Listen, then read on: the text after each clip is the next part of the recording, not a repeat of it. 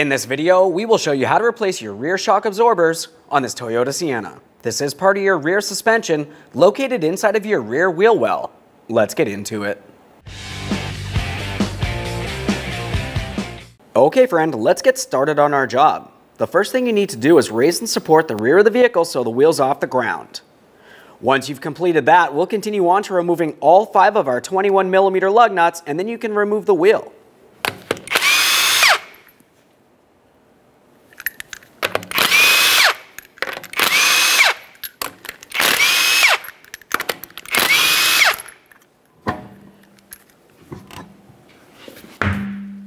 The next thing we'll do is make our way down behind the rear brake area. You're going to find the rear shock.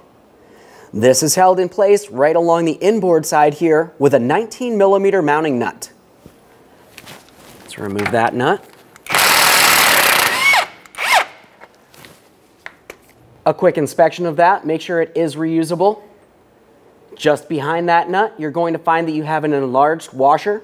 We're going to be reusing that as well. The next thing we'll have to do is break the shock free from this mounting point. Sometimes you can take it by hand and give it a wiggle.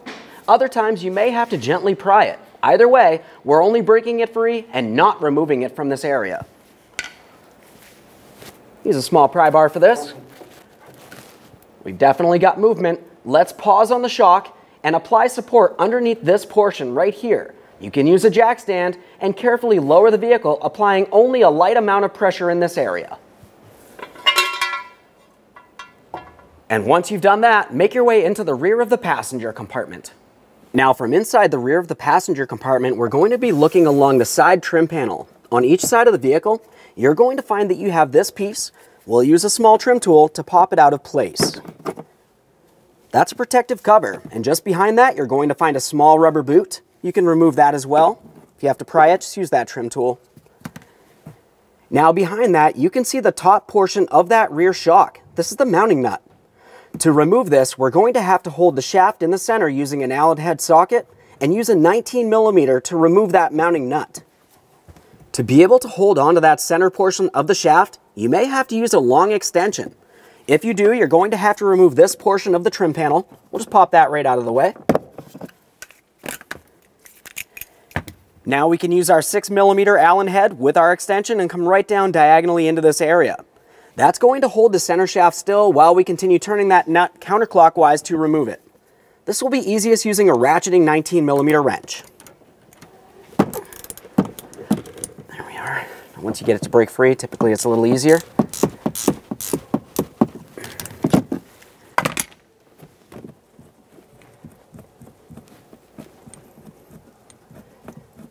Careful not to drop this inside behind the panel, that can be an issue. Gonna have to use a magnet of some sort.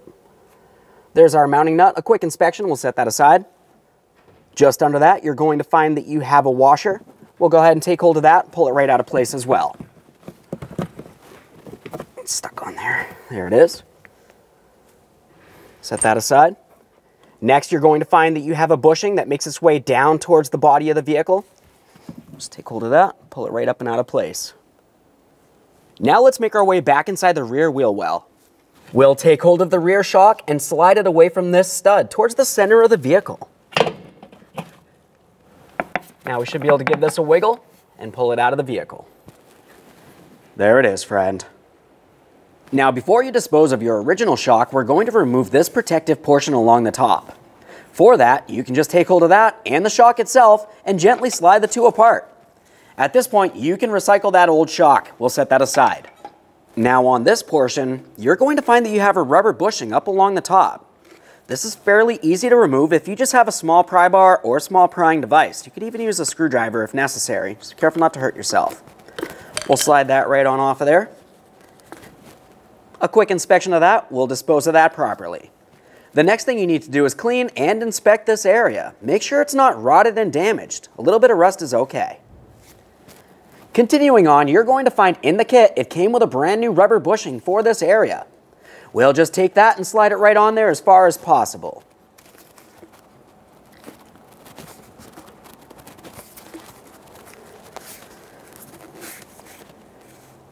Now it's time to prepare to install our brand new rear shock assembly. Before you install this in the vehicle, there's a couple things we're going to do. We'll start with one of the washers that we had gotten in our kit, the one with the smaller of the two holes. We're going to take that and slide it right over the shaft of the shock here. It should rest in this position. Now the next thing we need to do is hold on to the bottom of the shock with our feet so it can't slide away, and we're going to depress the shock down as far as possible and let it completely retract all the way back up. Repeat this process approximately three to five times.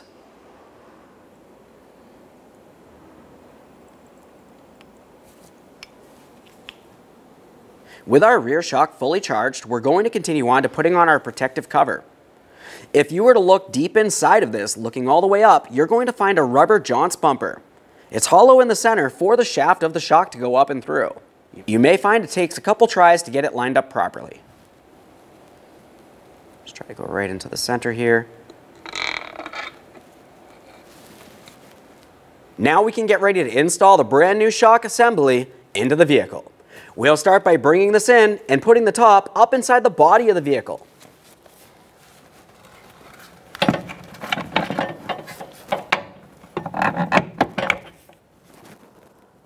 Let's get this lower portion slid into position as well.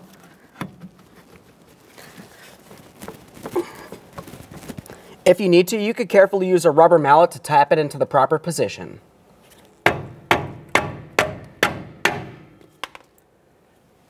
Now let's make our way up into the passenger compartment again. We're going to be paying attention to where the shock comes up through the body. We want to try to have that shock in the center of the mounting port of the body of the vehicle. If you have a hard time aligning that, you could use your tool, come right down through the center of the shaft, and make your alignment as necessary. Once you've completed that, we're going to continue on with our brand new bushing here. We'll just slide that right down onto the shaft, continue on with the washer, and then we'll also install our brand new mounting nut.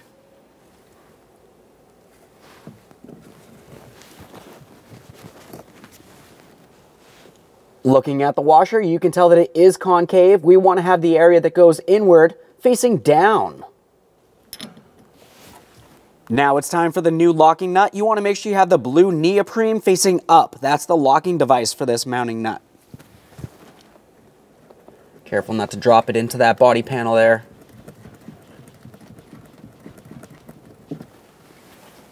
The next thing we'll do is snug up that nut, but we're not going to torque it yet. We have to have the entire weight of the vehicle back on the ground first.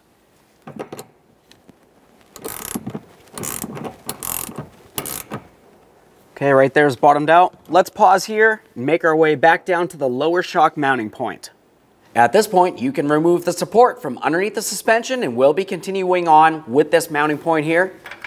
We've got our washer, and our locking nut. Go ahead and start that on there, snug it up, and torque it to 85 foot-pounds.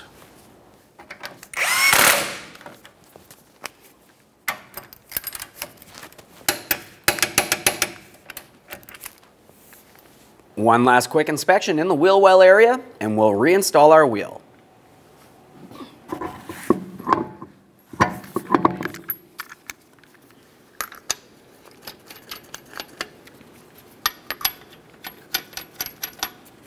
Start on all five of your 21 millimeter lug nuts. We'll bottom them out, get the wheel safely back down on the ground, and we can torque each of these to 76 foot-pounds.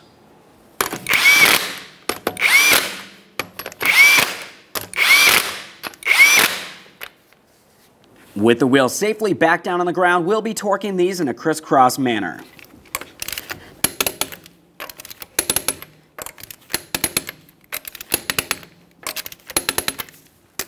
Torqued. Let's make our way up into the passenger compartment. Now back up in the passenger compartment, the next thing you need to do is continue tightening this mounting nut. The torque for this is 23 foot-pounds. Commonly, if you were to put a 19 millimeter socket on there and try to torque it, the entire shaft is going to spin. So what we're going to do is go ahead and hold that shaft and we'll make sure that the nut is nice and tight using our 19 millimeter wrench.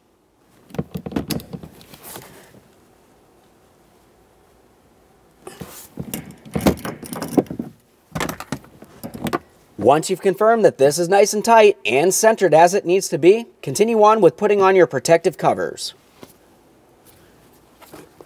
We'll start with the rubber cover here. That's going to slide right over that washer.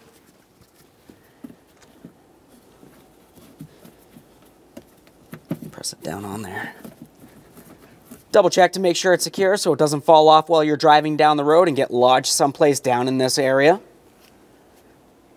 We have our plastic cover. We're going to start down along the bottom in that hooked area and then roll it in up along the top to lock it in the proper position. Now we have this upper corner piece. This is going to come in diagonally. Okay, friend, we finished the installation of our rear shock. The process for one side of the vehicle is the exact same thing as the other. Typically when you do these, it's always a good idea to replace them as a pair. Once you've done so, go ahead and take your vehicle for a road test down to your local alignment shop. Thanks for watching. When only the best will do, demand TRQ. The only company that lets you view before you do. TRQ is committed to offering the highest quality aftermarket auto parts that are engineered for peace of mind. Thanks for using and viewing with TRQ.